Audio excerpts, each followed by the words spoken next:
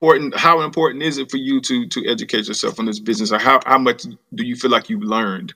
Oh man um i'm learning every day every session every mm-hmm. every producer i meet every first of all i gotta give you a big shout out because this is new to me you know yeah, yeah, it's my yeah. first time actually you know this your first interview? yes yes that's what's yes, up got a first time up in here queen yes, cass. yes, yes. yeah where, where now i know. So when you get to your level where you big and you selling platinum and you all that stuff going on, be like, yeah, I gave up first interview. Yeah, That's what's up. Yeah, so big shout out to Mr.